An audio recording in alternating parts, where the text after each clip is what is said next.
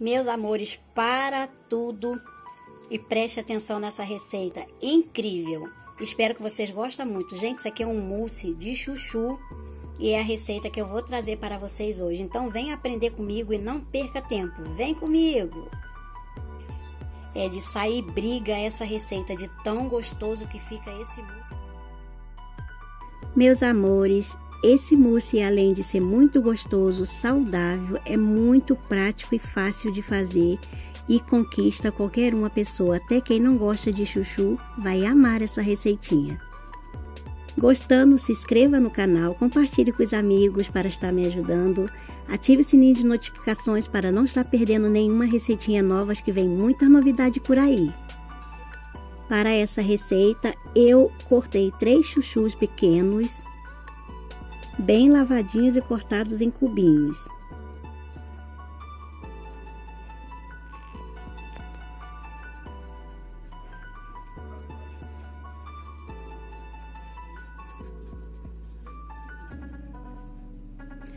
Para refogar, coloque bastante alho e uma cebola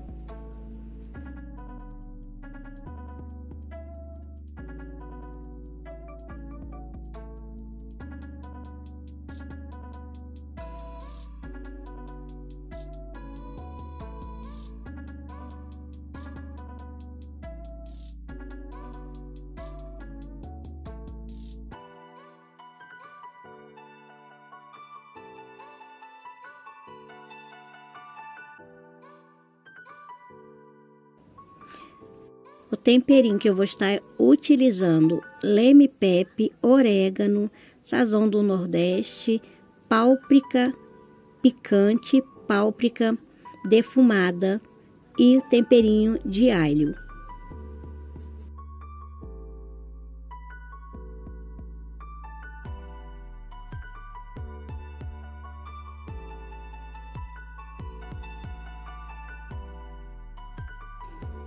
Muito simples de preparar, só colocar o chuchu para refogar com todos os temperos, colocar água para cobrir o chuchu e deixar ele ficar bem molinho, depois deixar esfriar para depois a gente estar batendo no liquidificador com o restante dos ingredientes.